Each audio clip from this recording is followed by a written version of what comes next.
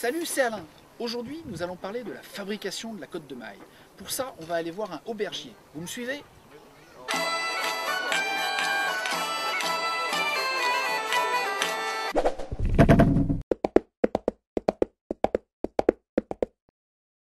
C'est long de fabriquer une côte de maille? Euh, assez long. On estime qu'il y a trois mois de, de travail d'hiver dessus, parce qu'on n'a pas de trace de bataille en hiver au Moyen Âge. Mais en fait, l'aubergier, avant de faire sa côte de maille, a un grand, grand travail à faire.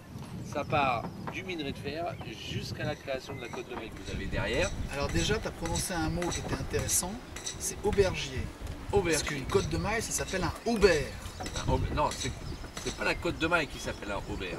C'est la côte de maille, c'est tout type d'armement qui sont avec ce, cette type de montage d'anneaux. Mais aubergier, ça vient du, de la côte de maille qui protège le torse, qui s'appelle un aubert. Parce que ça, Ça s'appelle c'est un camail. camaille. Cagoule en maille, ça s'appelle un Ça camail. reste une côte de maille, sauf que c'est que la protection de la tête.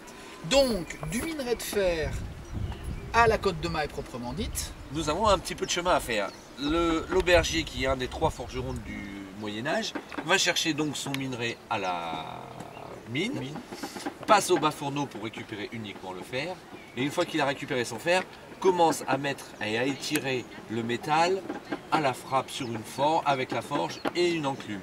Souvent avec une empreinte un petit peu circulaire pour pouvoir essayer de le rendre le plus circulaire possible, alors que c'est bien sûr absolument pas possible. On a des petites facettes tout le long. Une fois qu'il a fait ça, il peut commencer à passer au tréfilage à froid. Donc nous avons une grande plaque avec un biseau pour pouvoir la planter dans le billot de bois. Il faut imaginer la plaque avec que des trous, de plus en plus petits, plus gros à l'entrée qu'à la sortie. Une fois a- qu'on a, le métal dans le plus grand trou, on le, ta- on le met en pointe grâce à la forge. Et une fois qu'on a fait ça, on récupère le métal derrière le trou, on s'assoit sur une balançoire et on tire. et on pousse avec les jambes et on tire avec les bras tout le métal à travers tous les petits trous de la plaque pour arriver jusqu'à au XIIe siècle une section minimale d'1,2 mm. Donc ça demande gros. un nombre énorme de passages en- dans cette plaque. Donc il va faire quelques kilomètres de fil à travers. Une fois qu'il aura fait son fil, nous avons une bobine et nous allons commencer à faire les ressorts qui nous serviront pour les, anneaux. Donc ça c'est le cœur de la machine à anneaux, un axe métallique avec un trou. hein. Donc on, classe, on place le, fil qu'on vient de faire dans la tige métallique. Mon apprenti tient le côté du fil fil, et l'autre tourne la, la barre de fer pour pouvoir entourer le fil autour de cette barre. Nous obtenons donc un, bien, un tauron tout le long de la tige. On coupe la partie du fil de fer qui rentre dans le trou. Nous récupérons donc ce ressort. Ce ressort. Une fois que le ressort est fait, on prend une pince coupante et on coupe tout le long de ce ressort pour Faire obtenir tout plein de petits anneaux. Voilà. Voilà. Des anneaux.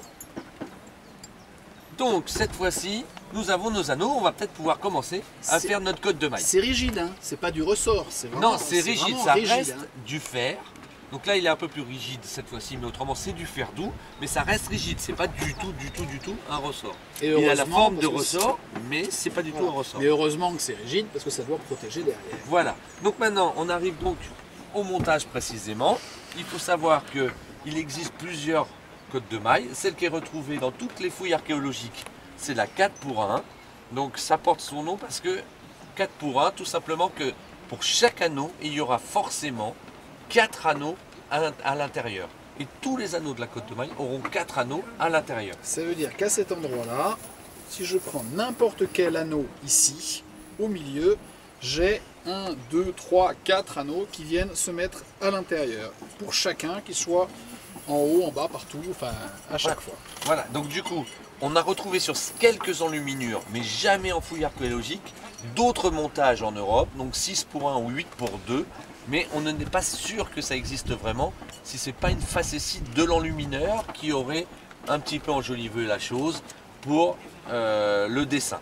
Sachant En que sachant que ça n'augmente pas la protection contre les armes, mais ça augmente juste la lourdeur de l'armure Et ça montre encore plus sa richesse, vu que le fer à cette époque-là, c'est le matériau le plus cher qui existe.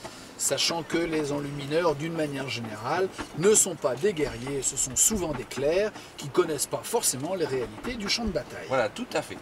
Donc, l'aubergier, s'il a un seigneur qui est riche, mais pas extrêmement riche, va lui demander de commencer directement la côte en faisant ce qu'on appelle une côte de maille abouter. Pour abouter, il suffit juste de prendre son anneau et on met bout à bout l'anneau pour le fermer. C'est une des techniques de, pour la côte de maille. C'est un peu plus rapide, mais beaucoup plus fragile au combat. Bah oui, plus c'est rapide à resserrer, plus ça sera rapide à desserrer. Voilà, évidemment. typiquement, il faut savoir qu'un combattant qui a ce type d'armement combat tous les jours, minimum une fois à deux fois par jour, depuis son jeune âge, en tenue de combat. Jamais, jamais, jamais de combat sans son armure. Tout à fait. Pour augmenter sa résistance et surtout pendant le combat, ne pas s'épuiser. Actuellement, on fait des, des combats médiévaux et on voit très bien qu'on se fatigue très très vite au combat. Donc du coup, on est passé dès le XIIe siècle très vite à ce qu'on appelle de la maille rivetée. Donc chaque anneau, on va le réchauffer de nouveau, le mettre sur une enclume de table, taper un, un coup sur un- le côté, un autre coup sur ce côté-là, pour le rendre chaque plat. bout de l'anneau lui-même, aplatir chaque bout de l'anneau. Voilà, et après, on- sur cette petite enclume, nous avons un trou. Nous reposons le, le petit anneau dessus et avec un poinçon, on va venir faire un trou de chaque côté. D'accord Ce qui va nous donner, du coup, un anneau qui va être percé des deux côtés et qui va pouvoir être rifté. Rifté comment? Avec un tout petit rivet qui va être fondu dans une forme pour pouvoir le récupérer directement. Donc lui, il n'est pas forgé, il est fondu Lui, il n'est pas forgé, forme. il est, for- il est fondu celui-là. Hein, en fer doux, donc après, on n'a plus qu'à fermer. Alors, euh, il faut trouver un anneau. Vous voyez comment c'était assez dur. C'est surtout d'avoir la précision et surtout de refaire toujours, toujours le même anneau. Pour sertir à cette époque-là, bah, ils ont pris leur tenaille qui avait donc euh, la- dans la forge et donc fait juste deux empreintes rondes dans la, dans la tenaille. Ce qui est très important parce que en fait, quand le rivet va être écrasé, ah, il faut forcément que le rivet soit rond. Parce que s'il y a une arête vive, les anneaux ne peuvent plus glisser les Oui, uns sur les fait. autres. Et du coup, ça perd en maniabilité, ça risque de déchirer le gambison, etc. Voilà. Donc maintenant qu'on a commencé à rifter, il nous reste plus à peu près pour avoir un aubert pour une personne taillée normale que 35 999 anneaux. Facile, Très rapide. très rapide.